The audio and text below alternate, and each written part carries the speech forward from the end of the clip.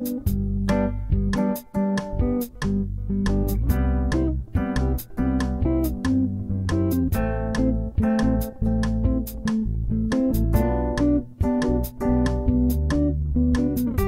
everybody, welcome back to Survival Preparedness for Beginners.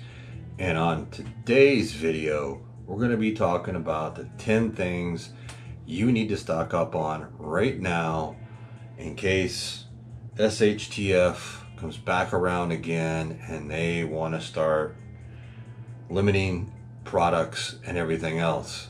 In which case, they've already done, but it really doesn't matter because most of this stuff I'm going to show you are not even on the shelves. So if you can find it somewhere, you may want to think about purchasing some of this stuff and put it in your home. You will eventually use it. It won't go to waste. So let's get started. So first thing on the list, gloves. Any type of uh, surgical gloves you can get your hands on. Um, I ordered these, got these off Amazon, but I did get these before the whole uh, Charlie Victor 19 hit. So uh, I grabbed a couple boxes of these because I use them throughout the house to begin with, uh, especially if I'm using any harsh chemicals or something like that. And also when I'm like uh, cooking, uh, cleaning like chicken and that kind of stuff, um, I just feel more secure when you're wearing the gloves and stuff. So gloves are definitely a number one thing you want to make sure that you have because they will come in handy. The next thing is number two, masks. Now Walmart does have these still on the shelves. Now the shelf, um, as I stated in one of my other videos that I just did, they had this huge shelf full and now they're down to two sections of shelf with these still on there.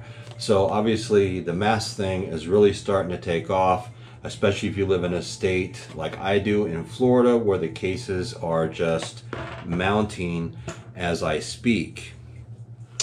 Yes, it is due to more testing and everything else, but it just goes to show you that there's more people that are infected and um, without wearing the mask to basically just simply help control the whole virus thing, um, it's kind of useless. It's kind of like, you know, shoveling shit against a fan, if you know what I mean. Next on the list, number three, Lysol. Now this is Walmart's brand because um, this is all we've been able to get. Uh, we haven't found a Lysol product in any store that we've been in. Um, Walmart, Publix, Winn-Dixie, um, Harvey's, any any type of store, Walgreens. Uh, nobody has had these products. Um, we did grab a couple of cans a while back when Walmart had these on the shelf, but they no longer have them. Now I did go online and I found a company where you can order them from, but you have to place a $50 order. And I'm taking it, it must come from overseas because it's a DHL shipment and shipping on it, if you don't spend more than $50, is 30 bucks. So they're gonna get you. So maybe if you could maybe go in with some of your friends or family and split the cost and order you know, Lysol, they had all kinds of different products and um, you could split the cost on that and that way it doesn't hit your checkbook as hard. All right, number four, paper towels. Yes, believe it or not, all of a sudden now paper towels are starting to dwindle again. They at one point the shelves were all stocked back up.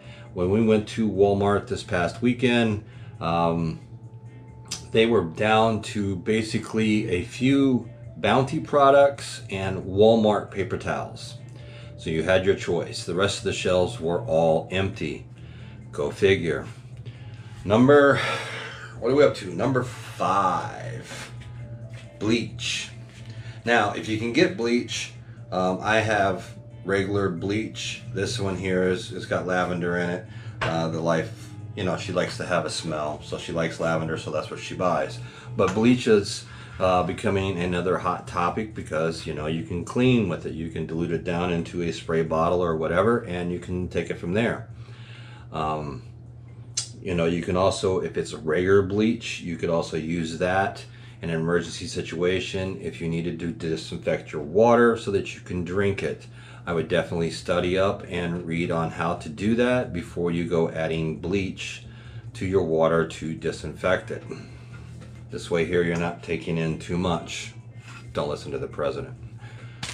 Number six, baby wipes. Now, if you have babies, you probably already have these. But if you're like me, my babies are all grown up and gone. But these will come in handy for cleaning your hands if you're out and about. Um, they also come in handy in emergency type situation if you lose water, such as in a hurricane, um, earthquake, any type of deal like that. You still have some way to clean yourself and uh, disinfect your body and everything else if you can't take a hot shower. Number seven. And believe it or not, wipes. Just regular flushable wipes. Now all of a sudden, um, just like some of the other products, you know, Walmart had a whole ton of these things because you can buy this um, this five pack here for I think it's $6.92, which isn't a bad price. And all of a sudden now uh, the shelves are getting very bare again. Um, I don't know if people are just, uh, they've learned from the past and they're just trying to uh, prepare for the future maybe, which is a good thing. Let's hope that people are doing that. That's the name of the game. You know, you get burnt once, you don't want to get burnt again, so make sure that you have all the products that you need. Now, another one is Clorox wipes. Any type of cleaning product or anything else is basically off the shelves. It's very difficult to find, and unless you know when they're getting their deliveries, you're not going to find any of these said products. It's just, at least in my area here in Florida, and that could be because our cases are spiking. So I'm sure in Texas, Arizona, California, and New York, you're all in the same boat as we are.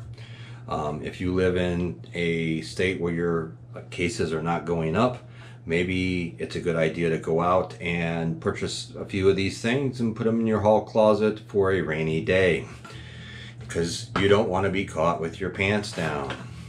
Now, we were able to pick up, we got, there was two bottles left, and I was in a hoarder. I only took one, so we got one big bottle of Pine Sol Cleaner.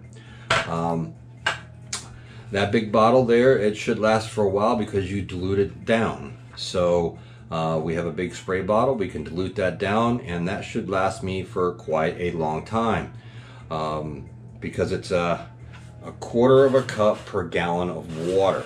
So you can make quite a few out of 60 full ounces, if you get what I'm saying.